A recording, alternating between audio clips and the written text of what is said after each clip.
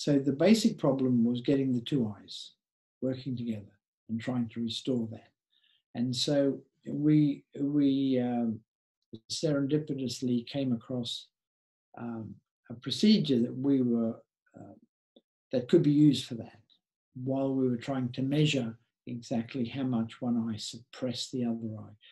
And so by imbalancing the contrast between the two eyes, we could we could um, arrange viewing conditions whereby all amblyopes would use both eyes together and would combine information between the two eyes.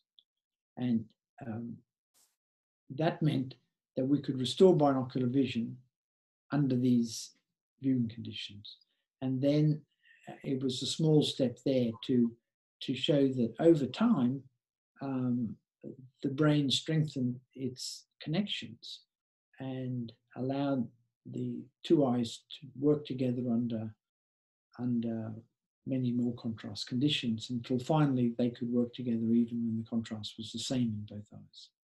So, and um, so we decided, well, how can we design a treatment for this? And so we decided to to use a video game because we thought we'll make it more fun than patching was, and um, and we wanted a video game where you could only play it if you can use the information from both eyes at the same time. So that was our guarantee that they were using both eyes together. So it's a treatment of getting the two eyes working together. And so we started out with Tetris, where the falling blocks were seen by one eye at a high contrast. That's that's their bad eye, and and the ground plane blocks were seen by the good eye at a low contrast to allow their both eyes to to work together. And then over over gameplay of an hour a day for about four weeks, four to six weeks, we slowly changed the contrast until finally we got it back so that both eyes saw the same contrast, which is what they would see in the physical world. And so when both eyes saw the same contrast, um, their two eyes were working normally together.